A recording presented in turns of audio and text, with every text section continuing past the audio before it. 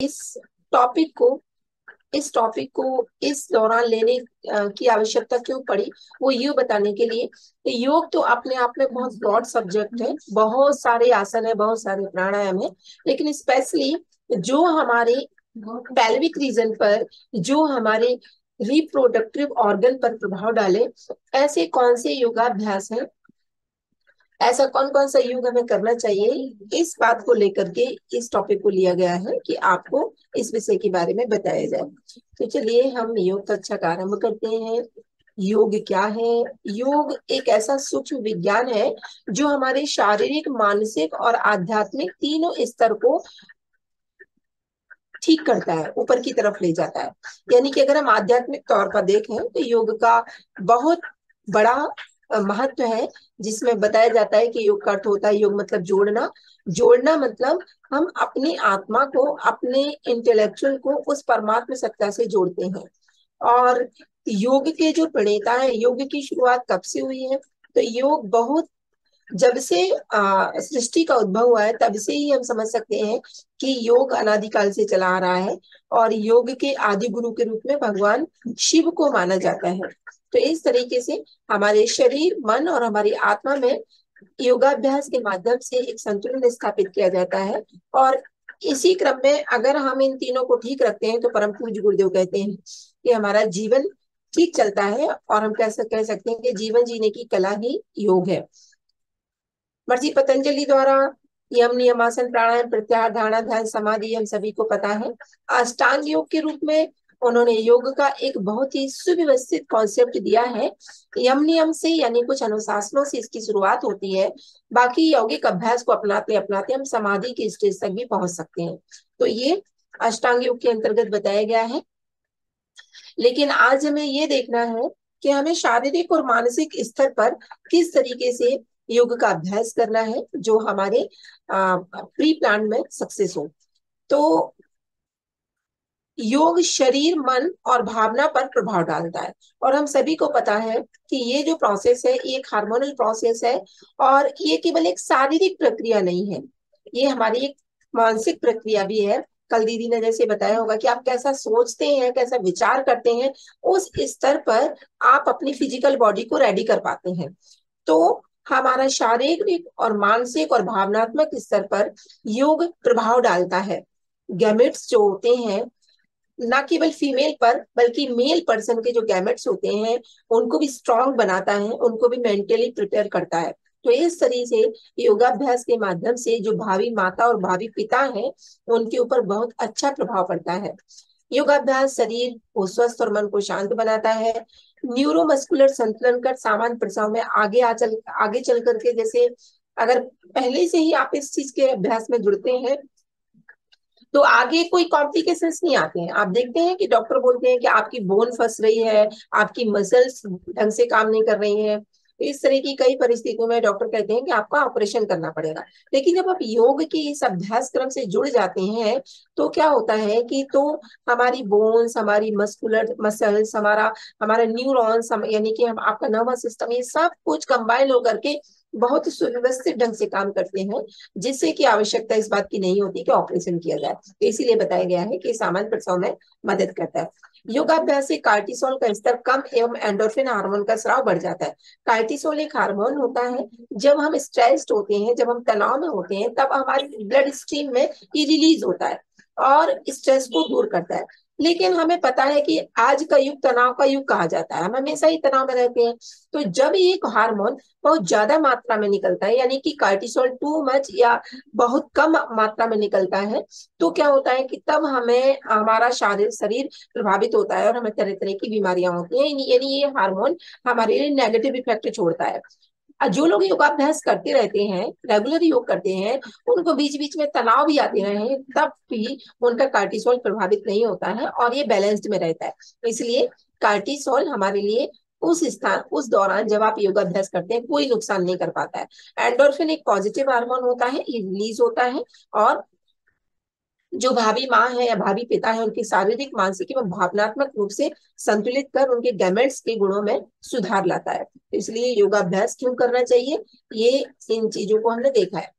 अब हम देखते हैं कि कई बार आज की समस्याओं को लेकर के या प्रेगनेंसी के बारे में सोच करके या किसी भी तरह की परिस्थितियों को देखते हुए इस तरह की जो प्रॉब्लम्स है जो आप देख पा रहे हैं स्क्रीन पर, ये नॉर्मली है। जैसे सभी को बैक पेन होना, रात को अच्छी सी नींद आना कॉन्स्टिपेशन रहना एंजाइटी रहना तरह तरह की बातें आप देखते हैं कि आपने सुना कि अरे, उनकी शादी को आठ साल हो गए हैं, उनकी शादी को पाँच साल हो गए हैं। तो इन चीज़ों को सोच सोच के हम अपने आप में भी नेगेटिव चल जाते हैं और एंजाइटी हो जाता है। हाइपर एसिडिटी खान पान या इन चीज़ों को लेकर के हाइपर एसिडिटी रहता है। डायबिटीज़ हो जाती है। तो ये सारी चीज़ें मिलकर के हमारे शरीर और मन को बहुत ही बुरी तरीके से प्रभावित करती है और इसका नेगेटिव असर होता है। लेकिन अगर आप योगाभ्यास करते हैं तो इन समस्याओं से बचा जा सकता है। अब योगाभ्यास आप, आपने इस चीज़ को जान लिया कि हमें योग क्यों करना चाहिए, योग से क्या लाभ होते हैं। अब आप प्रिपेयर हो गए योग को करने के लिए तो योग के पहले कुछ तैयारियाँ की जाती हैं, कुछ प्रिपरेशन किया जाता है। तो इसके कुछ रूल्स हैं। क्या रूल्स हैं कि योग हमेशा खाली पेट ही करना चाहिए। सुबह से उठ करके, फ्रेश होकर के और अपने शरीर को हल्का करके, तब जा करके आपको योगाभ्यास के लिए बैठना चाहिए। योग हमेशा स्वच्छ ताजी हवा में ही करना चाहिए। कमरा बंद हो, खिड़कियाँ बंद हो एसी चल रहा हो, हीटर चल रहा हो, ऐसी स्थिति में योग नहीं करना है। खुली हवा में ही करना है। स्वच्छ और ढीले कपड़े पहनकर ही करना चाहिए। अगर आपको बहुत ही भूख लगी और आपने कोई लिक्विड ले लिया तो thirty to forty five minutes के आप बात भी कर सकते हैं। और अगर मान लीजिए खाना खा लिया तो खाना खाने के चार घंटे बाद भी आप योगाभ्यास कर सकते हैं। आसन करने के लिए एक अच्छी खासी दरी होनी चाहिए, ताकि आप गिरे तो आपको किसी तरह की कोई चोट ना लगे। योग करते समय अनावश्यक स्ट्रेचिंग नहीं करना चाहिए, जितना आप इजीली कर सकते हैं, उतना करना चाहिए। और योग और व्यायाम में यही अंतर होता है कि योगाभ्यास हमेशा अपनी रेस्पिरेशन के प्रति कॉन्सियस होकर के किया जाता है, और व्यायाम आप ऐसे ही करते हैं। इसलिए हमेशा योग करते समय आप अपने श्वास प्रश्वास पर ध्यान देंगे। अभी आपको जो अभ्यास बताए जाएँगे, उसमें भी बताया जाएगा कि आपको श्वास लेनी है कि श्वास छोड़नी है, इस तरह से। अब यहाँ पर योगा का पूरा का पूरा एक पैकेज है। तो योग के पैकेज में आसन, प्राणायाम और ध्यान, इन तीनों चीज़ों को लिया जाता है।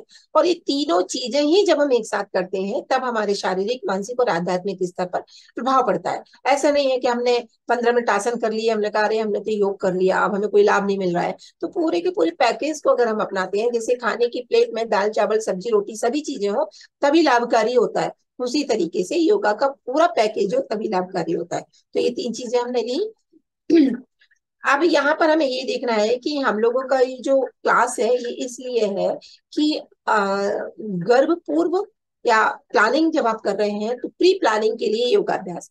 तो ये जो सिस्टम है, जो भी प्रेगनेंसी वाला प्रोसेस है, ये पूरा का पूरा संबंध, ये आपके यूट्रस से है, आपके पैल्विक रीजन से है, जो आप यहाँ पर देख रहे हैं। अब इस स्थान की चाहे मसल्स हो, चाहे बोन्स हो, चाहे न्यूरॉन्स हो, चाहे वेसल्स हो ब्लड वेसल्स हो, ये सभी कुछ क्या होना चाहिए? स्ट्रांग होना चाहिए। उस वेट को सहन कर पाए और उसके लिए जो परिस्थितियाँ चाहिए तो उन परिस्थितियों का निर्माण कर पाए। तो योगाभ्यास से क्या होता है कि जो पैल्विक रीजन है, जो आप देख पा रहे हैं, इस यहाँ की पेल्विक मसल्स मज़बूत होती हैं, यहाँ की पेल्विक बोन स्ट्रांग होती हैं, यहाँ का जो यूट्रस है यूट्रस का जैसे गर्भाशय का जो ग्रीवा का तनाव मुक्त होता है मतलब उसमें किसी तरह के, जैसे कहते हैं ना कि यूट्रस का मुँह खुल रहा है डॉक्टर बोल देते हैं बीच में तो कॉम्प्लिकेशन हो जाते हैं तो ये सब परिस्थितियों से बचते हैं। अंतःस्रावी तंत्र हमारा एंडोक्राइन सिस्टम जो होता है, जिसमें ग्लैंड्स होते हैं, जो हार्मोन्स निकलते रहते हैं तो वो जो पूरा का पूरा सिस्टम है, चूँकि ये पूरा का पूरा हमारा एक तरीके से हार्मोनल प्रोसेस है तो वो सब सुव्यवस्थित रहते हैं और कोई परेशानी नहीं होती है। कमर और पैल्विक मांसपेशियाँ जो जैसे कई लोगों की कई बहनों की प्रॉब्लम होती है कि आ, उनको लगता है कि डिलीवरी के बाद हमारा जो पेट है वो बाहर निकल गया या यहाँ पर हमारे पेट की मसल ढीली पड़ गई। अगर आप योगाभ्यास कर रहे हैं पहले से भी और उसके बाद में भी तो उस दौरान आपकी जो पैल्विक मसल्स है आपकी जो कमर है वहाँ की जो मांसपेशियाँ हैं वो कमज़ोर भी नहीं पड़ती हैं और वो फिर से एजिटेज हो जाती हैं। उनमें से पुनः फिर से टॉनिंग और स्ट्रेचिंग हो जाती है। ठीक है? तो ये हमने देखा कि योगाभ्यास क्यों करना चाहिए? योगाभ्यास के क्या लाभ होते हैं? योगाभ्यास करने से पूर्व हमें क्या सावधानी रखनी चाहिए? और योगासन के जो यूट्रस है, स्पेशली जो हमारा पैल्विक रीजन है, उस पर किस तरह से प्रभाव पड़ता है? अब हम योगाभ्यास के लिए रेडी होते हैं कि हमें कौन कौन सा योग करना चाहिए। तो यहाँ पर जैसे आप चित्र में देख पा रहे हैं सूक्ष्म व्यायाम यानी कि ज्वाइंट्स मूवमेंट जितने भी हमारी संधियाँ हैं जितने भी हमारे ज्वाइंट्स हैं सबसे पहले उनमें मूवमेंट किया जाता है क्योंकि उनके लिगामेंट या उनके टेंडेंस जब थोड़े से स्ट्रेस्ड होते हैं तब हमारी बॉडी फ्लेक्सिबल होती है और हम आसन करने के लिए तैयार हो पाते हैं। तो इसलिए हम सूक्ष्म व्यायाम पहले करते हैं। तो अब हम देखेंगे कि किस तरह से आपको करना है। ये कोई भी आसन करने की सबसे फ़र्स्ट स्टेज है। इसको हम कहते हैं दंडासन। तो आपको इस तरह की आसन में, इस स्टेज में बैठ जाना है। उसके बाद फिर हमें ये अभ्यास करने हैं। जैसे सबसे पहले हम पैर के ज्वाइंट्स की एक्सरसाइज करेंगे। तो जैसे उसमें बताया गया दंडासन तो यहाँ पर भी देखो दंडासन में बैठ जाएँगे। इस तरह से दोनों पैरों को फैला करके दंडासन की स्थिति में बैठ जाएँगे। और अब जैसे पहली प्रैक्टिस है, पादांगुली नमन। नमन का मतलब है बैंडिंग यानी कि बैंड करना है आपको। तो पैर की अंगुलियों का बैंडिंग तो पैर की जो आप देख रहे हैं, पैर की अंगुलियों को आगे पीछे करना है। लेकिन मैंने पहले ही बताया कि श्वास प्रश्वास के साथ, ये बात विशेष तौर से ध्यान कर रखनी है, क्योंकि हमारी पैर की जो अंगुलियाँ हैं, इनमें ज्वाइंट्स है। आप देख पा रहे हैं ना ज्वाइंट्स है तो ये ज्वाइंट्स जो है, आपको इनको पैर की ज्वाइंट्स से इन उंगलियों को आगे पीछे करना है। जब आप पैर की उंगलियों को आगे की तरफ़, यानी सामने की तरफ़ झुकाएँगे तो श्वास छोड़ेंगे, अंदर की तरफ़ लेकर के जाएँगे तो श्वास लेंगे, ठीक है? तो इस तरह से पादांगुली नमन, यानी टो बैंडिंग पैर की उंगलियों को बैंड करना है। उसके बाद सेकेंड प्रोसेस जो होती है, वो गुल्फ नमन होती है। गुल्फ मतलब होता है एंकल जहाँ आप पायल पहनते हैं पजेब पहनते हैं, उस वाले स्थान से बैंड करना है। क्योंकि वहाँ पर भी एक ज्वाइंट है। आप अपने पैर को देखिए, सबसे पहला ज्वाइंट जो है, वो उंगलियों में है, फिर उसके बाद सेकंड ज्वाइंट जो एंकल में है, उधर से। तो गुल्फ नमन, यानी एंकल बैंडिंग अब सेकंड स्टेज में हम गुल्फ नमन करेंगे। एंकल से पैर को आगे की ओर झुकाएँगे और पीछे की ओर लेकर के जाएँगे। प्रोसेस वही रहेगी जब आप आगे की तरफ़ लेकर के जाएँगे तो आपको श्वास छोड़नी है और जब आप अपनी तरफ़, यानी पीछे की तरफ़ लेकर के जाएँगे तो श्वास लेनी है। जब आप पीछे की तरफ़ लेकर के जाएँगे तो आप देखेंगे पीछे की, नीचे की तरफ़ पैरों में स्ट्रेचिंग हो रही है। इसलिए स्ट्रेचिंग के दौरान हमें श्वास लेनी है, क्योंकि हम पीछे से पूरा देख रहे हैं और आगे की तरफ़ ले जाएँगे तो श्वास छोड़नी है। ये प्रोसेस आप करेंगे गुल्फ नमन, यानी एंकल बेंडिंग में। अब उसके बाद जो थर्ड प्रोसेस होती है, वो एंकल रोटेशन गुल्फ चक्र। गुल्फ चक्र। तो जो आपका एंकल है, वहाँ से चक्र बनाना है। चक्र मतलब रोटेट करना है। तो दोनों पंजों से चक्र बनाने पंजों को जब आप अपनी तरफ़ लाएँगे तो श्वास लेंगे और जब नीचे की तरफ़ जाएँगे तो श्वास छोड़ेंगे। ठीक है? तो देखिए, अभी आप देखेंगे एंकल रोटेशन गुल्फ चक्र, इस तरीके से आपको घुमाना है। दोनों तरफ़ से क्लॉकवाइज भी करनी है और एंटी क्लॉकवाइज भी करनी है। पाँच बार इस तरफ़ से और पाँच बार दूसरी तरफ़ से अपोजिट साइड से। तो यहाँ पर आपने देखा कि आपकी पैरों की जो अंगुलियाँ हैं वहाँ पर उनमें बेंडिंग हुआ और एंकल में बेंडिंग हुआ। तो ये गुल्फ चक्र आपका हो जाता है। उसके बाद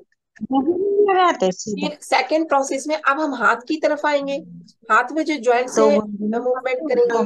तो हाथों को इस तरह से सामने की तरफ़ फैला लेना है।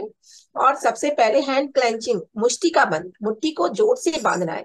हमारी उंगलियों में कितने सारे ज्वाइंट हैं? सारे ज्वाइंट्स इसमें एक्टिव होते हैं। तो अंगूठा आपका अंदर की तरफ़ रहेगा और इस तरह से आपको मुट्ठी बांधनी है, जैसा बताया जा रहा है। प्रोसेस वही रहेगी, जब मुट्ठी बंद करेंगे तो श्वास छोड़ेंगे और जब मुट्ठी खोलेंगे तो श्वास लेंगे, क्योंकि हमारी ये पीछे की तरफ़ जाएगी। उसके बाद रिस्ट बैंडिंग अब जैसे हमने पैर में एंकल बैंडिंग किया था, यहाँ पर रिस्ट बैंडिंग करेंगे, नीचे की तरफ़ ले जाएँगे, ऊपर की तरफ़ लाएँगे जब नीचे की तरफ़ लाएँगे तो श्वास लेंगे और पीछे की तरफ़ लाएँगे तो श्वास छोड़ेंगे, इस तरीके से। नेक्स्ट है रोटेशन तो अब रोटेट करना है रिस्ट रोटेशन इस तरह से रोटेट करना है, पूरा जैसे जो हमने पैर में प्रोसेस किया था, वही हाथ में रहेगा। दोनों इसमें जैसे कंप्यूटर पर लैपटॉप पर काम करते समय या कंप्यूटर पर काम करते समय आपकी उंगलियों में कई बार दर्द होने लगता है पेन होने लगता है उसमें। तो ऐसा करने से ये ठीक रहता है। टाइपिंग लिखने से उत्पन्न तनाव, ये सब दूर होते हैं इससे। अब है, अब इसके बाद देखिए नेक्स्ट ज्वाइंट्स कहाँ पर आ गया हमारा? शोल्डर पर। तो शोल्डर पर, कंधे पर ये ज्वाइंट है। हालाँकि एल्बो ज्वाइंट भी है, उसकी एक्सरसाइज भी आप कर सकते हैं। लेकिन यहाँ पर हमने शोल्डर ज्वाइंट ले लिया शोल्डर रोटेशन ले लिया। इस तरह से आपको घुमाना है। ठीक है? क्लॉकवाइज भी और एंटी क्लॉकवाइज भी। जब ऊपर की तरफ़ जाएँगे तो सांस लेंगे और नीचे की तरफ़ जाएँगे तो सांस छोड़ेंगे। सर्वाइकल के लिए कंधे और कमर दर्द के लिए बहुत ही रामबाण है। अगर किसी को सर्वाइकल है तो इसको करते रहिए। दिन में कई बार जब भी आपको टाइम मिले, तीन चार बार इस तरह से करते रहेंगे तो ये बहुत लाभकारी होगा। नेक मूवमेंट ये भी सर्वाइकल के लिए ये ये सारे अभ्यास आपको सर्वाइकल बारे बताए जा रहे हैं। तो नेक मूवमेंट इसमें क्या करना है? गर्दन को सामने की तरफ़ लाना है और पीछे की तरफ़ ले जाना है। तो सामने की तरफ़ लाते समय श्वास छोड़ना है पीछे की तरफ़ जाते समय श्वास लेना है। अब एक बात का ध्यान रखेंगे जिनको सर्वाइकल की प्रॉब्लम है वो सामने झुकने वाली प्रोसेस नहीं करेंगे। बाकी इस, इसमें जितनी चीज़ें आपको बताई जा रही है वो सब करनी है लेकिन आगे की तरफ़ बिल्कुल नहीं झुकना है। ठीक है? तो ये आपको सिंपल सी प्रोसेस आगे पीछे वाली बताई। अब इसके बाद बाएँ और दाएँ लेफ़्ट एंड राइट की तरफ़ अपने गर्दन को मूव करना है। जब आप सा, सामने रहेंगे यानी मध्यम स्थिति में रहेंगे तो श्वास लेंगे और फिर बाएँ तरफ़ जाएँगे या दाएँ तरफ़ जाएँगे जिस तरफ़ भी जाएँगे तो श्वास छोड़ते हुए जाएँगे। फिर वापस श्वास लेते हुए सामने आएँगे फिर श्वास छोड़ते हुए साइड में जाएँगे। तो इस तरह से ये देखिए गर्दन को आपने बाएँ और दाएँ घुमाया। ठीक है? उसी तरह से अब इसी प्रोसेस में बाएँ और दाएँ झुका भी सकते हैं, झुकाने वाली प्रोसेस भी कर सकते हैं इसी में। जो आप इमेज में देख पा रहे हैं वीडियो में ना देख करके इमेज में देखिए कि झुका रहे हैं तो वो झुकाने वाली प्रोसेस भी आप कर सकते हैं। नेक्स्ट है वीवा रोटेशन पूरी नेक रोटेशन अब नेक को पूरी तरह से रोटेट करना है। इस तरह से पूरी तरह से सभी दिशा में होल नेक रोटेशन पूरी गर्दन को घुमाना है। लेकिन बात वही ध्यान रखनी है आपको कि सर्वाइकल वाले आगे आएँगे, आगे नहीं आना है। सर्वाइकल जिनको है, उनको आगे की तरफ़ नहीं लाना है। बस साइड साइड में बेंड करना है इस तरह से। ठीक है? तो ये आपका हो गया ग्रीवा संचालन। हमने कंधे में जो ज्वाइंट्स थे, गर्दन में जो ज्वाइंट्स हैं, उन सभी पे कर लिया। अब एक अभ्यास जो गर्भाशय के लिए बहुत ही अच्छा है, चक्की चालन। पुराने समय में तो चक्की वैसे ही सब लोग चलाते रहते थे। तो कोई परेशानियाँ नहीं जाती थी। अब यहाँ पर हम आर्टिफिशियल चक्की चलाएँगे। चर्निंग द मिल किस तरह से पैरों को फैला लें और वक्ष को भुजा को वक्ष के सामने इस तरह से फैलाएँ, हाथों से फिंगर लॉक लगा लें और जितना संभव हो सहजता से आगे पीछे झुककर चक्र बनाए। जब आप आगे की तरफ़ जाएँगे, कोई भी प्रोसेस आपको करनी है, अगर आप आगे झुक रहे हैं तो श्वास छोड़ना है। अगर पीछे जा रहे हैं तो श्वास लेना है। ठीक है? ये, इस तरीके से आपको करना है। बिल्कुल पूरा आगे जो आपके पैर के अंगूठे, उंगलियाँ हैं, उनको क्रॉस करना है। इतना आगे झुकना है और पीछे, खूब पीछे तक जाना है। ताकि जैसे हमारी जो कमर है, उसमें अच्छा खासा मूवमेंट हो। अगर हम ऐसा करते हैं तो हमारी पेल्विक मसल्स रिलैक्स होती हैं और कमर दर्द दूर होता है और नॉर्मल डिलीवरी के चांसेस बनते हैं। क्योंकि ये वाला हमारा पूरा रीजन फैलता है। अब नेक्स्ट है बटरफ्लाई तितली आसन तो बटरफ्लाई करते हैं इस तरीके से। आप देख सकते हैं, दोनों पैरों को इस तरह से फैला करके। ये जो स्टेज हो रही है, ये ये भद्रासन की भी है, आप भद्रासन भी ऐसे कर सकते हैं। और अगर आप बहुत मोटे हैं नॉर्मली नहीं कर पा रहे हैं तो इस तरीके से आप अपने हाथों से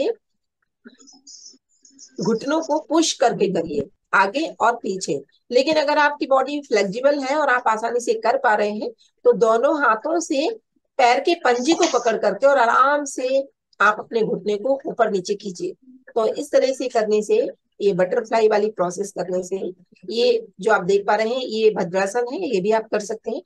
आप देखेंगे कि किस तरह से पूरे पैल्विक रीजन पर इसका इफ़ेक्ट हो रहा है। फूली और ग्रहण क्षेत्र में लचीलापन बढ़ता है, निचले हिस्से के तनाव कम होता है और प्रसव के समय कम परेशानी होती है। अब यहाँ तक के जो भी आपने अभ्यास देखे हैं, इन सभी अभ्यासों को आपको नियमित रूप से पाँच से दस बार करना है। ठीक है? ना केवल ये प्री प्लान वाले, ना केवल ये प्रेगनेंसी वाले, बल्कि सभी बहनों को आप ये देखिए कि योग की क्लास है और जितनी बहनें जुड़ी हैं, हम सभी को भी फिट रहने के लिए, अपने स्वास्थ्य को ठीक रहने के लिए भी आपको ये करना चाहिए। तो अभी तक ये जो हमने सूक्ष्म व्यायाम देखा है, वो यहाँ पर देखा। अब हम स्टार्ट करते हैं आसन को।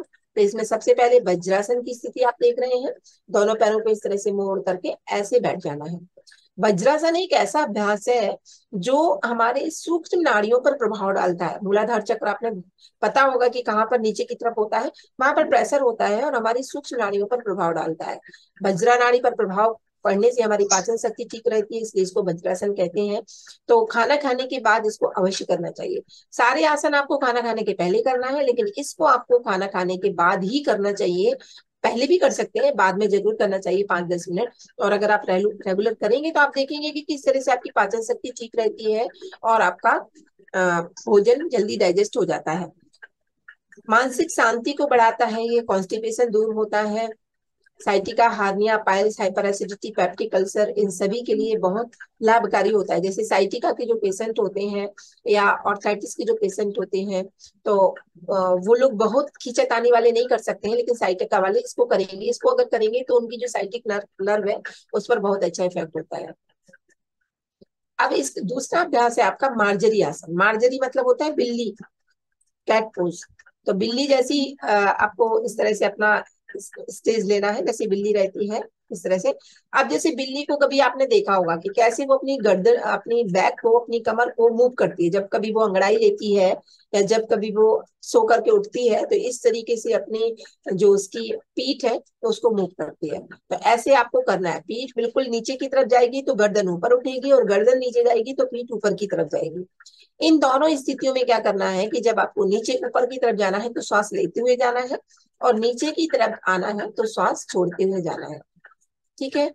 तो ये इसमें क्या होगा? मेरुदंड एकदम लचीला बनेगा, जो आपकी रीढ़ की हड्डी है। वो क्योंकि हमने शुरू में ही देखा कि प्रेगनेंसी के पहले फीमेल्स को हमेशा क्या प्रॉब्लम होती है? बैक पेन थोड़ा सा काम कर लेंगे तो हमें कमर में दर्द होने लगता है। तो कमर दर्द से छुटकारा मिलता है। रीढ़ रीढ़ की हड्डी लचीली होती है और हमारा जो यूट्रस है वो भी स्ट्रांग होता है छोटी मोटी जो परेशानियाँ होती हैं वो इससे दूर होती है। नेक्स्ट है पाम ट्री पोज ताड़ासन। ताड़ की तरह, पाम की तरह अपनी बॉडी को स्ट्रेच करना, ऊपर की तरफ़ खींचना, ताड़ासन कहलाता है। दोनों हाथों से इस तरह से फिंगर लॉक लगा करके और पूरा बॉडी को इस तरह से स्ट्रेच करना है। आप देखिए, पूरा हमारा साइड बैंड वाला, साइड वाला जो स्थान है वो पूरा स्ट्रेच हो रहा है, पूरी तरह से खिंचा हुआ रहा है। इसमें। श्वास लेते हुए आप ऊपर की तरफ़ जाएँगे श्वास छोड़ते हुए नीचे आएँगे। ठीक है? इस तरह से। और अगर आप देर तक होल्ड कर पा रहे हैं तो श्वास ऊपर ले जा करके भी छोड़ करके आराम से होल्ड करके रह सकते हैं। ऐसा नहीं है कि ये कोई आ, मुद्रा नहीं है कि इसमें आपने एक बार श्वास लिया तो छोड़ नहीं सकते आप होल्ड होल्ड ज़्यादा टाइम तक करना है। तो ये ताड़ासन। इससे हमारा शारीरिक और मानसिक संतुलन ठीक होता है कमर दर्द ठीक होता है नई ऊर्जा शक्ति का विकास होता है। नेक्स्ट है कटी चक्रासन। ये आप देख पा रहे हैं कटी चक्रासन। इसको कटी चक्रासन क्यों कहते हैं? कटी मतलब होता है आपका पैल्विक रीजन कमर वाला जो एरिया है और चक्र मतलब उसको चक्राकार घुमाना। तो आप इसमें देखेंगे कि आपका जो ये आ, कमर वाला पोर्शन है हिप के ऊपर वाला वो इस तरीके से ट्विस्ट हो जाता है इस तरीके से ट्विस्ट हो जाता है। चक्र की तरह घूमता है इधर फिर इधर फिर इधर फिर इधर। इसलिए इसको कटी चक्रासन कहते हैं। दोनों पैरों के बीच में थोड़ा गैप ले लेते हैं और दोनों हाथों को सबसे पहले तो भुजाओं को बगल में रखते हैं, फिर भुजाओं को कंधे की ऊंचाई तक उठाते हुए गहरी श्वास लेते हैं और श्वास श्वास छोड़ते हुए शरीर को बाई और मोड़ते हैं। ऐसे आप लेके गए, फिर ऐसे ट्विस्ट हो गए। एक हाथ पीछे की तरफ़ जाएगा, एक यहाँ पर जाएगा। फिर ये यहाँ जाएगा। तो जिस तरफ़ ये आपका हाथ रखा जाएगा, उस तरफ़ से आपको ऐसे ट्विस्ट होना है। ठीक है, गर्दन को भी ट्विस्ट करना है, लेकिन ध्यान रखना, पैरों को ट्विस्ट नहीं करना है। केवल आपको गर्दन, आपको जो कमर है, उस वाले पोर्शन से ऐसे ट्विस्ट होना है। तो ये कहलाता है कटी चक्रासन इसके क्या लाभ होंगे? यह आसन कमर, पीठ और आपका जो हिप पोर्शन है, उसका पोषण करता है। पीठ के कड़ेपन और उठने बैठने की समस्याओं को दूर करने में आसन उपयोगी है। हमारी कमर में बहुत स्ट्रेन हो जाता है, कई बार जकड़न आ जाती है बैठे बैठे जकड़न आ जाती है तो ये अभ्यास बहुत ही लाभकारी है। आप अपनी, जैसे ऑफिशियल वर्क होता है तो ऑफिशियल वर्क में भी आप अपनी चेयर पर बैठे बैठे इस तरीके से ताड़ासन कर सकते हैं, इस तरीके से कुछ एक्सरसाइज करते हैं, ऐसे ऐसे, इस तरीके से लोग करते हैं, आपने देखा भी होगा। तो ये सब ऐसे अभ्यास है जो हमारी कमर पर बहुत ही सॉफ्ट इफ़ेक्ट डालते हैं, इनका कोई साइड इफ़ेक्ट नहीं होता है। ये कटी चक्रासन का आपको इसमें एक वीडियो भी दिखाया जा रहा है। इस तरीके से आपको करना है कि आप हाथों को पहले सामने की तरफ़ लेकर के आएँगे और ये ये इस तरीके से सिर्फ़ आपको कमर से ही ट्विस्ट होना है। देखिए, वीडियो को देखिए, कितनी सावधानी से इस तरह से किया गया है। फिर सामने आना है फिर हाथों को इस तरह से लाना है फिर दूसरी तरफ़ इस तरह से आपको ट्विस्ट करना है। ठीक है? तो ये कटी चक्रासन का आपको अभ्यास इस तरह से करना है। नेक्स्ट है त्रिकोण आसन त्रिकोण आसन का अभ्यास, इसको त्रिकोण आसन क्यों कहते हैं? पहले हम इसको देख लेते हैं।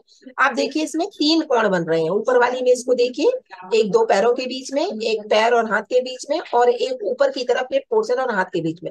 एक 90 डिग्री का, एक 45 डिग्री का, है ना? इस तरीके से एक 60 डिग्री का। तो ये तीन कोण बन रहे हैं। इसलिए इसको त्रिकोण आसन कहा जाता है। त्रिकोण आसन बहुत लाभकारी अभ्यास होता है। इसको आप देखेंगे, इस तरीके से करते हैं। दोनों पैरों के बीच में थोड़ा सा हम गैप ले लेते हैं, है ना? दोनों हाथों को इस तरीके से रखते हैं बाहर की तरफ़ और फिर ऐसे ट्विस्ट होते हुए ये ये आप कर हैं ऊपर की ठीक है? फिर ये तो ये अभ्यास आप फास्टली भी कर सकते हैं और धीरे धीरे भी कर सकते हैं। एक एक्सरसाइज के रूप में आप इसको फास्ट भी कर सकते हैं थोड़ा और आसन के रूप में इसको धीरे धीरे भी कर सकते हैं। ठीक है? तो इस तरह से, जो ऊपर आप स्टेज देख रहे हैं, अगर इतना आप पूरा नहीं कर पा रहे हैं तो नीचे जो स्टेज है, जो थोड़ा थोड़ा कर रहे हैं, इस तरीके से भी आप इसको कर सकते हैं। ये ये भी हमारे कमर और पैरों के पृष्ठभाग को प्रभावित करता है। तंत्र का तंत्र को उत्तेजित करता है और तंत्र की अवसाद को दूर करता है। हमारे पूरे नर्वस सिस्टम पर इसका बहुत ही पॉजिटिव इफ़ेक्ट होता है। पाचन में सुधार लाता है भूख बढ़ती है जो हमारे आंतरिक क्रमानुकुंचन को सक्रिय बनाता है। आप देखेंगे कि जब आप ये अभ्यास कर रहे हैं तो जो हमारी स्मॉल इंटेस्टाइन है, जिसमें कि, जो कितनी पतली होती है, और उसका भी मूवमेंट होता है, उसमें भी मसाज होती है। तो भोजन का, और लार्ज इंटेस्टाइन में भी उसका मसाज होता है। तो कॉन्स्टिपेशन दूर होता है, भोजन का पाचन ठीक ढंग से होता है, ये सारी परिस्थितियाँ इसमें बनती है। आपका जो श्रोणी प्रदेश है, जो पैल्विक रीजन है वो स्ट्रांग बनता है और जो हमारे रिप्रोडक्टिव ऑर्गन है वो उन वो भी स्ट्रांग होते हैं। नियमित अभ्यास कर, कर से कमर के इर्द गिर्द की चर्बी भी घटती है। लोगों को ये प्रॉब्लम होती है ना कि हम मोटे हैं हम क्या करें हमें पतले होना है। तो अभी तक ये जितने अभ्यास बताए जा रहे हैं अगर आपने ये सब रेगुलर शुरू कर दिया तो यकीन मानिए दस दिन में ही आपको इसका इफ़ेक्ट दिखाई देने लगेगा। थायराइड है आपकी मोटापा है और आपको मान लीजिए कि डायबिटीज़ है तो इन कुछ बीमारियों से तो आप बिल्कुल निश्चित तौर से ठीक होने लगेंगे। तो ये अभ्यास इस तरीके से है। टैक्स से विपरीत करणी आसन इस अभ्यास को विपरीत करणी आसन, इसलिए कहा जाता है, क्योंकि इसमें हमारा शरीर विपरीत हो जाता है। आप देखिए, बहनें हमेशा खड़े खड़े खड़े खड़े ही खाना बनाना, सारे काम अब खड़े खड़े ही होते हैं। तो जिससे हमारा ब्लड सर्कुलेशन हमेशा नीचे की तरफ़ ही रहता है। अपोजिट साइड में जा ही नहीं पाता है, जिससे आजकल आप देखते हैं वेरिकोल्स की प्रॉब्लम हो रही है लेडीज़ को, पैर दर्द की प्रॉब्लम हो रही है, घुटने दर्द की प्रॉब्लम हो रही है, ये सब समस्याएँ बनी रहती है। और ब्लड सर्कुलेशन हमेशा नीचे की तरफ़ होता है तो हमारा इंटरेस्ट भी नीचे की तरफ़ नीचे की तरफ़ ही उससे से प्रभावित होता है। तो विपरीत करणी आसन बहुत अच्छा अभ्यास है। इसको किस तरीके से करते हैं हम?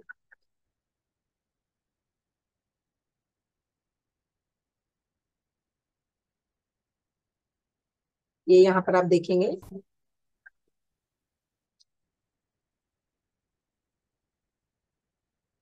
आपको अपने हाथ आ, इस तरह से लेकर के जाना है। और थोड़ा सा ऐसे लाते हुए हाथों को, हाथों से इस तरीके से इसको पकड़ लेना है। ये जो आप अभ्यास देख रहे हैं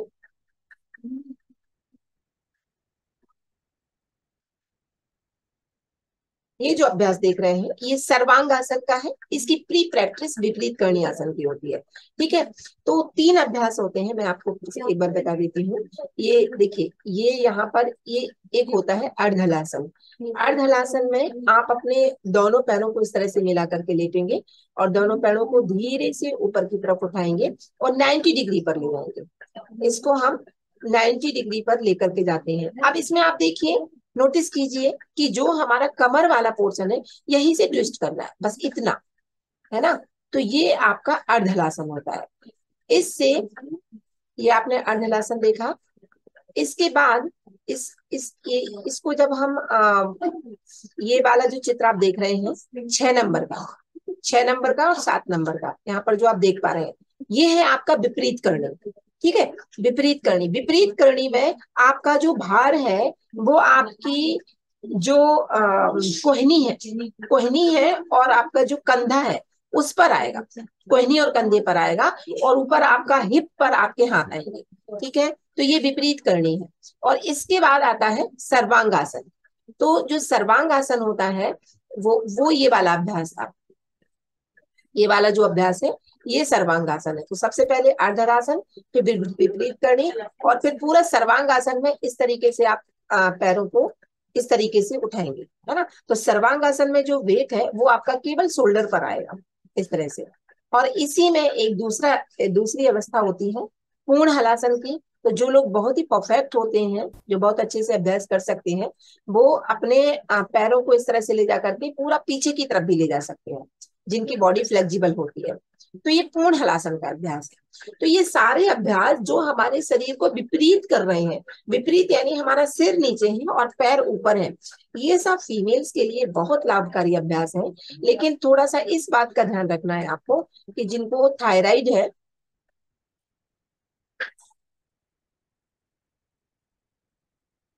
जिनको हाइपर थायरोडिज्म है, जैसे थायराइड है हाइपो होता है और हाइपर होता है तो जिनको हाइपर थायरोडिज्म है, उनको थोड़ा सावधानी से करना है, बल्कि उनको डॉक्टर से पूछ करके इस अभ्यास को करना है। जिनको सर्वाइकल स्पॉन्लाइटिस है, उनको भी डॉक्टर से पूछ करके ये अभ्यास करना है। स्लिप डिस्क वालों को तो नहीं करना है, हाई बीपी वालों को भी नहीं करना है, और हार्ट डिज़ीज़ वालों को भी नहीं करना है, क्योंकि हार्ट डिज़ीज़ वालों का ब्लड सर्कुलेशन अपोजिट हो जाएगा तो उनको भी नहीं करना है, ठीक है? तो ये ये परेशानियाँ, ये बीमारियाँ हैं, इनको आपको ध्यान देते हुए आप इन अभ्यासों को अवॉइड करना है। बाकी सभी जितनी भी फीमेल्स हैं, जितनी भी लेडीज़ हैं, उनके लिए बहुत ही उपयुक्त ये अभ्यास होते हैं और उनको ये अभ्यास करना चाहिए। तो आप देखेंगे कि ये सारे आसन जो आप देख रहे हैं कौन कौन से? अर्ध हलासन पूर्ण हलासन सर्वांगासन विपरीत करणी ये सब आपने इसी पैकेज में देखा है। जब आप, जब हम लोगों ने इसको प्रेगनेंसी के दौरान देखा था कि प्रेगनेंसी में कौन कौन से अभ्यास करना है उस दौरान ये अभ्यास नहीं लिए रहे थे, ठीक है? क्योंकि उस उस टाइम ये कॉम्प्लिकेटेड थे, उनको इस अभ्यास की आवश्यकता नहीं थी। तो आपको एक डिफरेंस जो याद रखना है, वो ये रखना है कि ये आसन हमने इसमें ही देखे हैं, इसमें जोड़े हैं। तो ये सारे आसन होते हैं। इनके लाभ जो है, बहुत ही अच्छे लाभ होते हैं। रक्त परिसंचरण तंत्र, पाचन तंत्र, प्रजनन तंत्र, तंत्रिका तंत्र, अंतस्रावी तंत्र पर बहुत अच्छा प्रभाव पड़ता है। इन सभी में एक सामंजस्य स्थापित होता है, एक कोऑर्डिनेशन होता है, जिससे कि हमारा शरीर स्वस्थ रहता है। मस्तिष्क की कोशिकाओं में उचित मात्रा में रक्त आपूर्ति होती है। अब देखिए, हमारे ब्लड में, हमारे ब्रेन में ब्लड की बहुत ज़्यादा नीड होती है। सबसे ज़्यादा ब्लड सप्लाई समझ लीजिए हमारे ब्रेन में ही होता है। लेकिन क्या होता है कि वो बेचारा हमेशा ऊपर ही रहता है। उसको तो हार्ट को या हमारी जो दूसरा हमारा सर्कुलेटरी सिस्टम उसको बहुत मेहनत कर करके ऊपर पहुंचाना पड़ता है। लेकिन जब हम ये अभ्यास करते हैं तो इसमें ऑटोमेटिकली ब्लड का फ्लो ज़्यादा मात्रा में ब्रेन को मिलने लगता है। तो मस्तिष्क को उस दिन रिलैक्स मिलता है। उसको लगता है कि आज हमें ज़्यादा मात्रा में बढ़िया आहार मिल गया। तो मस्तिष्क की कोशिकाओं में उचित मात्रा में रक्तापूर्ति होती है, जिससे हमारा मन शांत होता है है और भावनात्मक और मानसिक तनाव और हेडेक जो होता है, वो सब चीज़ें दूर होती है। लेडीज़ के लिए मासिक धर्म संबंधित समस्याओं और खास तौर से ल्यूकोरिया के लिए सर्वांगासन बहुत ही अच्छा उपचार है। ठीक है? यूटीआई हो जाता है वेजाइनल इन्फेक्शन से संबंधित जितनी भी बीमारियाँ हैं ल्यूकोरिया है मेंस्ट्रुएशन प्रॉब्लम है इन सभी के लिए सर्वांगासन उपयुक्त अभ्यास है। सर्वांगासन के जितने भी हमने देखे हैं ये सारे ही अभ्यास उपयुक्त है उनके लिए। ठीक है? अब नेक्स्ट है उष्ट्रासन। तो उष्ट्रासन का अभ्यास आ, किया जाता है इस तरीके से। आपको सबसे पहले वज्रासन में बैठते हैं। इस अभ्यास में सबसे पहले वज्रासन में बैठते हैं और फिर घुटनों के बल खड़े हो जाते हैं। घुटनों के बल खड़े हो जा करके और धीरे धीरे धीरे अपने दोनों हाथों को पीछे की तरफ़ ले जाते हुए और हाथों से इधर पकड़ लेते हैं। जो लोग पूरा अभ्यास नहीं कर सकते वो आधी दूर तक ही जितना आसानी से कर सके, उतना करें करें। और जितना ज़्यादा हो सके, ये देखिए, ये अभ्यास सही कब माना जाता है? जब आप अपना ये जो पेट वाला पोर्शन है, इसको आगे की तरफ़ निकालते हैं। जब आगे की तरफ़ निकालते हैं तो पीछे हमारी जो पीठ है, इसके, इसमें एक कर्वेचर बनता है इस तरीके से और पेट आगे की तरफ़ निकलता है। तो हमारी यूट्रस की एक अच्छी मसाज होती है कि आगे से भी उसमें स्ट्रेचिंग हो रही है और पीछे से भी स्ट्रेचिंग हो रही है। तो बहुत लाभकारी होता है उष्ट्रासन का अभ्यास। लेकिन एक इनको नहीं करना चाहिए, जिनको पीठ के गंभीर रोग होता है। वैसे तो पीठ की समस्या के लिए उष्टासन बहुत अच्छा अभ्यास है, लेकिन स्लिप डिस्क है किसी को और बहुत गंभीर परेशानी है तो ऐसी स्थिति में नहीं करना है। कटी बात हो, उन्हें किसी विशेष कटी बात मतलब आपको स्लिप डिस्क हो रहा है तो नहीं करना चाहिए। जिनका थायराइड बड़ा हुआ हो, उन्हें भी सावधानी से करना चाहिए।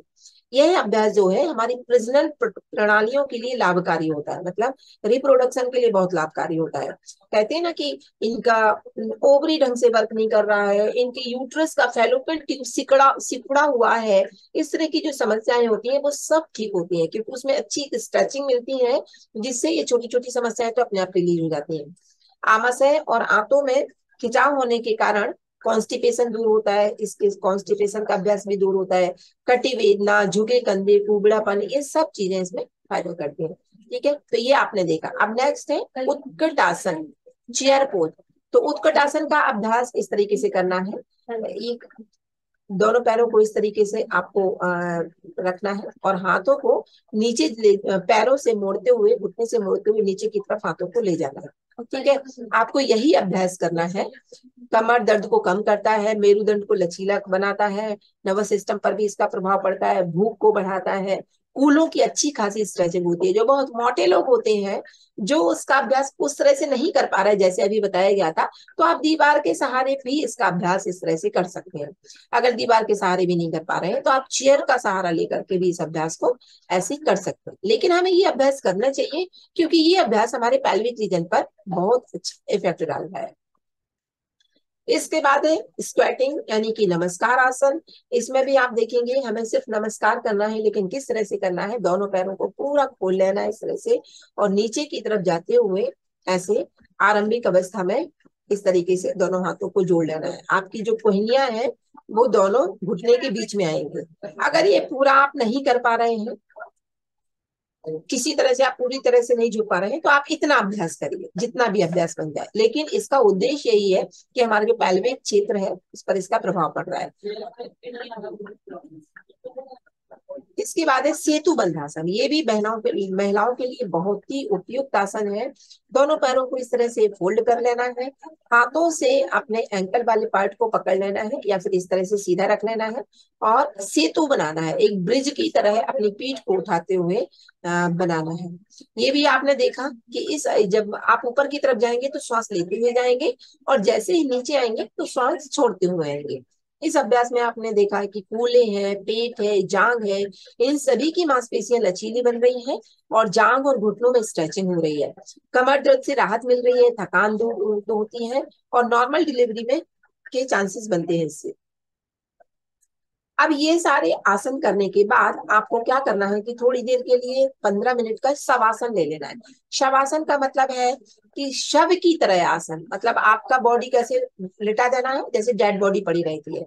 और डेड बॉडी करते समय, अब डेड बॉडी पड़ी है तो वो एकदम रिलैक्स्ड है, उसमें कोई मूवमेंट नहीं हो रहा है। उसी तरह से आपकी बॉडी में कोई मूवमेंट नहीं होना है। और आपको यौगिक श्वसन करना है। यौगिक श्वसन क्या होता है कि पेट तक श्वास को लेकर के जाते हैं। मतलब श्वास पेट में नहीं भरती है, भरती हमारे लंग्स में ही है, लेकिन पूरी तरह से लंग्स में भर जाती है, ठीक है? तो जब आप श्वास अंदर ले रहे हैं तो आपका पेट बाहर की तरफ़ फूल रहा है और श्वास छोड़ रहे हैं तो पेट आपका अंदर की तरफ़ जा रहा है।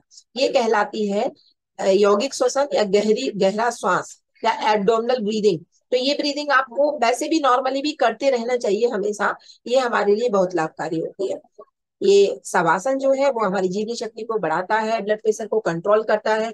जिनका ब्लड प्रेशर हमेशा हाई रहता है, उनको ये अभ्यास करना चाहिए। शरीर को आराम देता है, कोशिकाओं की मरम्मत करता है। जितनी भी मेंटल डिज़ीज़ है स्ट्रेस है एंजाइटी है आपका डिप्रेशन है, इन सब में रिलीफ मिलता है।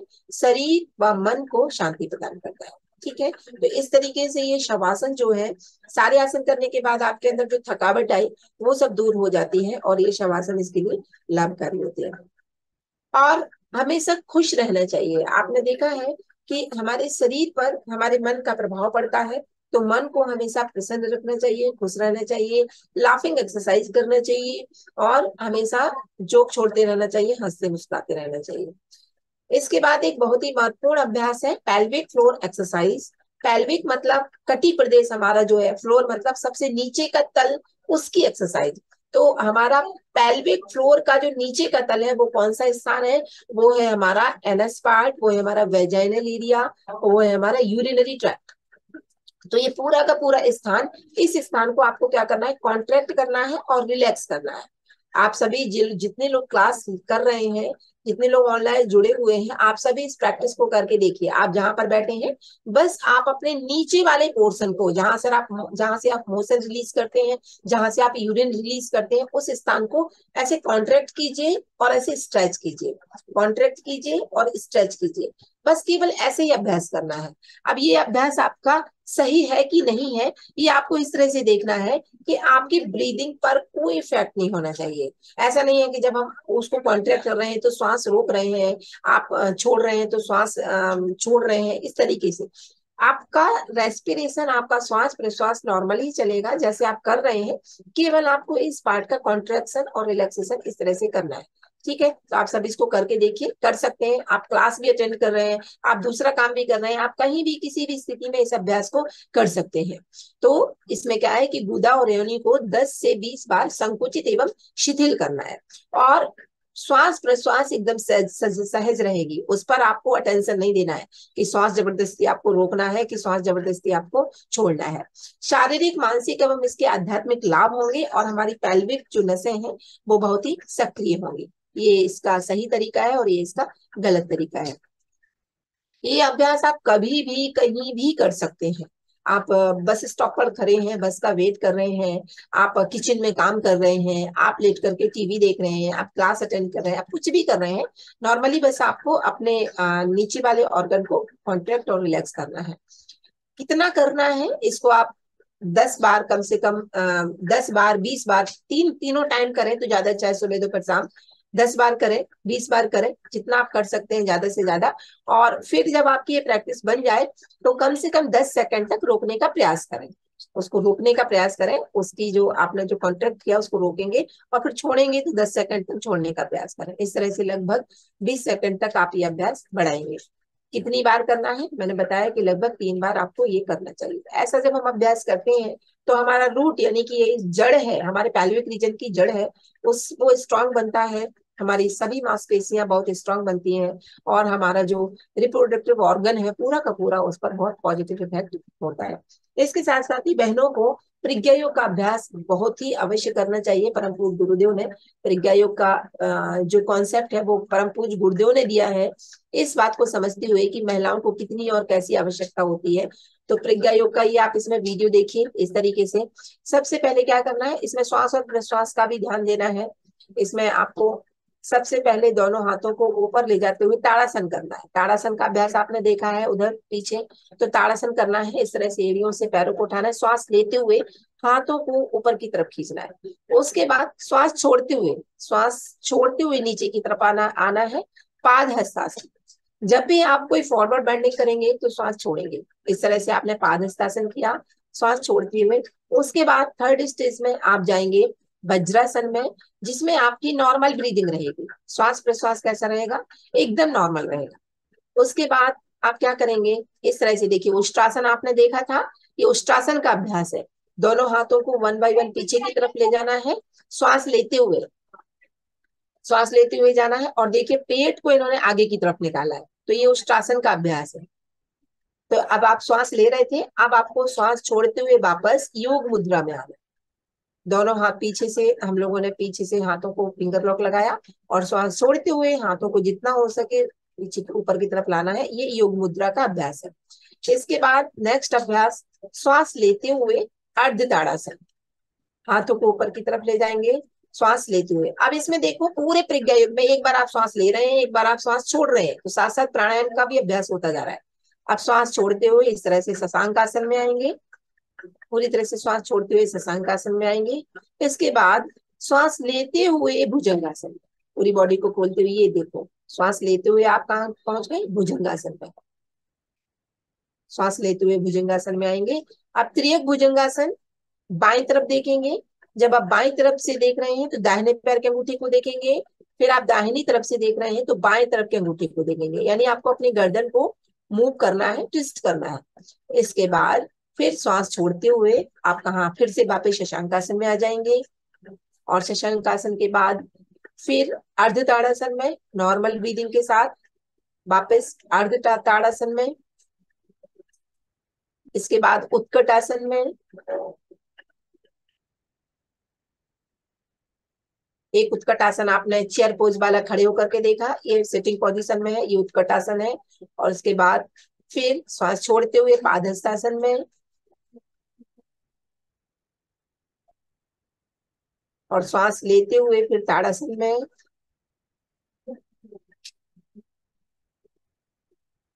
और फिर ओम चांटिंग के साथ ब्रह्मांड की पूरी ऊर्जा को अपने अंदर धारण करते हुए इस तरह से आप वापिस आएँगे। तो ये आपने देखा त्रिज्ञा योग का अभ्यास, ये हमारे शरीर के लिए बहुत लाभकारी होता है। इसमें सोलह प्रैक्टिसेस है, सोलह प्रकार के मतलब सोलह प्रकार के आसन नहीं कह सकते, क्योंकि कई आसन इसमें रिपीट हुए हैं। तो सोलह कौशल है, सोलह प्रैक्टिसेस है। इसकी एक पूरी की पूरी एक श्रृंखला बनाई गई है, जो बहुत ही लाभकारी होता है। ये चित्र देख सकते हैं आप, और आपको यहाँ पर भी काफ़ी सारे आप यूट्यूब पर डालेंगे, प्रज्ञा योग तो उसका भी वीडियो आपको मिल जाएगा, और यहाँ से भी आपको मिल जाएगा। तो ये सारे आसन का पैकेज हमने देखा, ये हमें आसन अवश्य करना चाहिए। इसके साथ साथ हमें टहलना भी चाहिए। टहलने की भी बहुत लाभ है। खाना खाने के बाद हमें पंद्रह बीस मिनट टहलना चाहिए। हमारी पूरी बॉडी एक्टिव होती है। टहलना भी एक तरीके से एक एक्सरसाइज है। तो टहलने का अभ्यास भी हमें करना चाहिए। अब हम आते हैं प्राणायाम के ऊपर। प्राणायाम का अभ्यास हमें करना चाहिए, प्राणायाम हमें क्यों करना चाहिए? सबसे पहली बात है कि प्राणायाम हमें क्यों करना चाहिए? क्योंकि हमारा ये जो शरीर आप देख रहे हैं, ये प्राणिक शरीर है। जैसे स्थूल शरीर में हमारी ब्लड वेसल नर्व्स ये सब होती हैं, ऐसे सूक्ष्म शरीर में हमारा, हमारी नाड़ी संस्थान होता है। ऐसा हमारे योगियों ने बताया है। और उस नाड़ी संस्थान में प्राण फ्लो करता है। तो जब कभी भी प्राण तत्व की हमारे अंदर कमी आ जाती है तो हमें शारीरिक, मानसिक और आध्यात्मिक व्याधियाँ हो जाती है। तो प्राणायाम करने के माध्यम से, प्राणायाम करके हमें इस प्राण का जो सबसे महत्वपूर्ण स्रोत वो ये विश्व ब्रह्मांड है। और विश्व ब्रह्मांड में भी नेचर प्रकृति प्रकृति के सानिध्य में जितना रह करके आप प्राण को ले सकते हैं, वो बहुत लाभकारी होता है। तो इसलिए हम अपने अंदर प्राण तत्व की कमी को पूरा करने के लिए प्राणायाम का अभ्यास करते हैं। इसकी प्रैक्टिस कई तरह की हो सकती है, लेकिन प्रोसेस एक ही होती है कि प्राण को ही हम अपने अंदर धारण करते हैं। प्राणायाम से हमारी जीवनी शक्ति बढ़ती है, ऑक्सीजन की पूर्ति होती है ब्लड सर्कुलेशन अच्छा होता है, बहुत सारी बीमारियों से भी हम बच पाते हैं, नाड़ियों की शुद्धि होती है प्राणिक प्रवाह अच्छा होता है और अच्छे अच्छे हार्मोन्स निकलते हैं। तो इसलिए प्राणायाम का ये मतलब होता है। आप इस चित्र में भी देख पा रहे हैं, ये सूक्ष्म शरीर जो है वो एक्टिव हो रहा है आपका प्राणायाम के माध्यम से। हमारा जो ये स्पिरिचुअल बॉडी जिसको कहा जाता है, आध्यात्मिक शरीर जिसमें चक्र है, नाड़ियाँ हैं, ये सब जब स्वस्थ रहते हैं तो उससे संबंधित आस पास के ऑर्गन भी स्वस्थ रहते हैं। ये जो ऑर्गन देख रहे हैं, फिर हमें कई तरह की बीमारियों से हम ऑटोमेटिकली बच जाते हैं। इसमें प्राणायाम बहुत लाभकारी होता है और बहुत सारे प्राणायाम है, लेकिन प्रमुख रूप से कौन से प्राणायाम है जो हमारे लिए किसी तरह का कोई साइड इफ़ेक्ट नहीं है और लाभ देते हैं? तो परम पूज गुरुदेव जितने जिस तरीके से योग का कॉन्सेप्ट दिया, उसी तरह से नाड़ी शोधन का उन्होंने अपना एक कॉन्सेप्ट दिया और प्राणाकर्षण प्राणायाम का। तो ये विशेष प्राणायाम जो परम पूज गुरुदेव ने बताए हैं। तो नाड़ी शोधन प्राणायाम अनुलोम विलोम प्राणायाम, प्राणाकर्षण प्राणायाम, उज्जाई प्राणायाम भ्रामरी प्राणायाम, उद्गीत प्राणायाम इतनी चीज़ें हम देखेंगे। आपको प्राणायाम करते समय आपकी शारीरिक स्थिति, कमर गर्दन सीधी होना चाहिए। कमर सीधी करने के लिए हमेशा इसलिए कहा जाता है क्योंकि कमर में ही हमारी विशेष शक्तियाँ हमारा जो सुषुम्ना नाड़ी होती है स्पाइनल कॉर्ड जो होता है, उसमें बहुत विशेष प्रकार की शक्तियाँ होती है। इसलिए कमर हम सीधी करके बैठते हैं तो प्राण का फ्लो जो है वो रेगुलरली अच्छे से हो पाता है। अगर आप ऐसे बैठे हैं तो प्राण इधर तक गया, फिर वो यहाँ झुक गया। तो अच्छे से वर्क नहीं कर पाता, इसलिए कवर सीधी करके बैठना चाहिए। और इसमें तीन प्रैक्टिसेस होती हैं पूरक रेचक और कुंभक। गहरी लंबी श्वास लेना पूरक कहलाता है। उस श्वास को रोक करके रखना, कुंभक कहलाता है, और फिर उसको छोड़ देना एक्सेल करना, ये रिचक कहलाता है। तो ये तीन चीज़ें हमारे अंदर होनी चाहिए। जब कभी भी आप प्राणायाम का अभ्यास करें, चाहे नाड़ी शोधन करें, चाहे लोम विलोम करें, कोई भी प्राणायाम करें, आपको हमेशा भावनात्मक रूप से भी उससे जुड़ना है। अगर उससे नहीं जुड़ेंगे तो केवल शारीरिक लाभ प्राप्त हो पाएगा, और जितना लाभ मिलना चाहिए, उतना नहीं मिलेगा। तो क्या करना है? जब कभी भी आप इनहेल कर रहे हैं, श्वास को अंदर ग्रहण कर रहे हैं तो आपको ये भाव रखना है कि सकारात्मकता, इस ब्रह्मांड का प्रकाश रूप में वो दिव्य प्राण हमारे अंदर जा रहा है। जब आप रोकेंगे तो भाव करेंगे, वो प्राण, वो सकारात्मकता हमारे रोम रोम में, हमारी प्रत्येक कोशिका में समाहित हो रही है। उसके बाद अब आप छोड़ेंगे तो भाव करेंगे, हमारे अंदर की जितनी भी नेगेटिविटी है, चाहे वो फ़िज़िकल नेगेटिविटी है, चाहे वो मेंटल नेगेटिविटी है, सब बाहर निकल रही है। ऐसा भाव करते हुए अगर आप रेगुलर पंद्रह से बीस मिनट तक प्राणायाम करते हैं आप यकीन मानिए, आपको मैजिकल इफ़ेक्ट होगा और आप खुद कहेंगे कि मेरे जीवन में कितना परिवर्तन आ गया। आपकी इड़ा पिंगला दोनों नाड़ी ओपन रहेंगी, पूरी दिन आप एनर्जेटिक फील करेंगे। चाहे मेल पर्सन हो, चाहे फीमेल पर्सन हो, सभी लोगों को इसका अभ्यास करना चाहिए। तो ये प्राणायाम है। यहाँ पर वही बात बताई गई है, पूरक, कुंभक रेचक और बाह्य कुंभक तो ये हमारा वन फोर टू का रेशियो चलता है। वन फोर टू का मतलब है कि अगर आपने फाइव काउंट करते हुए, मान लीजिए अगर आपने एक मिनट में इनहेल किया श्वास को अंदर एक मिनट में लिया तो चार मिनट आपको रोक करके रखना है और दो मिनट में उनको एक्सिल करना है। ठीक है? तो ये पूरक रेचक कुंभक का एक आ, इसकी आ, इसका एक कॉन्सेप्ट होता है। प्राणायाम करते समय ये जो आप साइड में देख रहे हैं प्रणव मुद्रा। इस तरीके से ये दो उंगलियों को अंदर करके ऐसे ये प्रणव मुद्रा होती है तो प्रणव मुद्रा बना करके हमें प्राणायाम का अभ्यास करना चाहिए। अब सबसे पहले नाड़ी शोधन प्राणायाम। अब आप फटाफट इसको सीख लीजिए। कि कैसे करने हैं, हमें ये प्राणायाम गलत नहीं करना है आपको। अच्छे से सीख करके ही करना है। तो इसमें क्या करना है? नाड़ी शोधन प्राणायाम में आपको, नाड़ी का शोधन हम कर रहे हैं, इसलिए इसको नाड़ी शोधन प्राणायाम करते हैं। विशेष तौर से हमारी दो नाड़ियाँ होती हैं, ये पिंगला और ये इड़ा राइट साइड की पिंगला और इड़ा। तो इसका शोधन कर रहे हैं। तो सबसे पहले बाई नासिका से शुरू करेंगे। आपको क्या करना है? बाई नासिका से श्वास को लेना है। इस तरह से गहरी लंबी श्वास लेनी है बाई नासिका से। फिर रोकना है अंदर आपको कुंभक करना है और फिर बाएँ से ही छोड़ देना है। ठीक है? ऐसा आपको तीन बार करना है। बाएँ नासिका से श्वास लिया, रोका और बाएँ से ही छोड़ दिया। फिर बाएँ से लिया, रोका और बाएँ से ही छोड़ दिया। ऐसा कितने बार करना है? तीन बार करना है। उसके बाद फिर दाहिनी नासिका से दाई नासिका से भी श्वास को लिया, रोका और छोड़ा। लिया, रोका और छोड़ा। ऐसे करके तीन बार आपको दाई नासिका से अभ्यास करना है। और उसके बाद सबसे लास्ट में आपको क्या करना है कि दोनों नोस्टल से श्वास को लेना है, ठीक है? लास्ट में दोनों नोस्टल से श्वास को लेना है, रोकना है और मुँह से छोड़ देना है।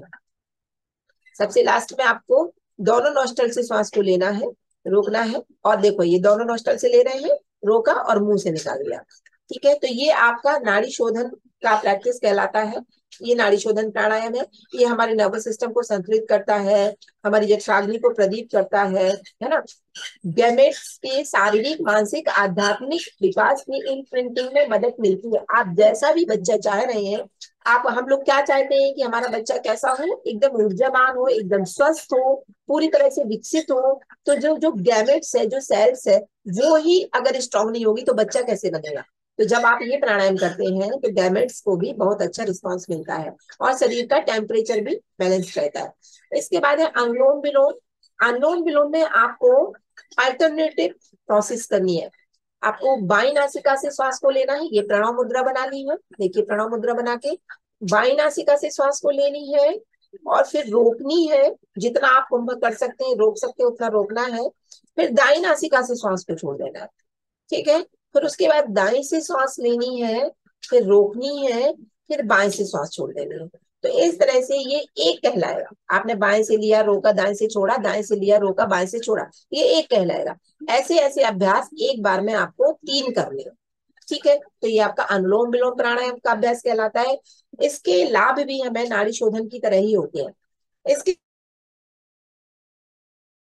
बाद है भ्रामरी प्राणायाम। तो भ्रामरी प्राणायाम में इस तरह से अपने उंगलियों से आ, कान को इस तरह से बंद करते हैं और गहरी श्वास लेते हैं।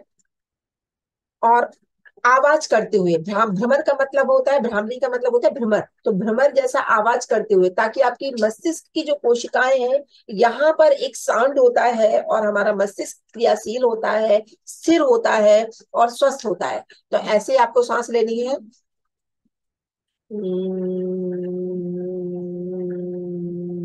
इस तरीके की आवाज़ करते हुए आपको श्वास बाहर निकाल देनी है, ठीक है? श्वास लेना है, रोकना है और श्वास बाहर आवाज़ करते हुए निकालना है। तो भ्रामरी प्राणायाम कहलाता है। ओमकार के समान गुंजन होता है। जैसे आप ओम करते हैं ना, वैसे इसमें भी साउंड होता है।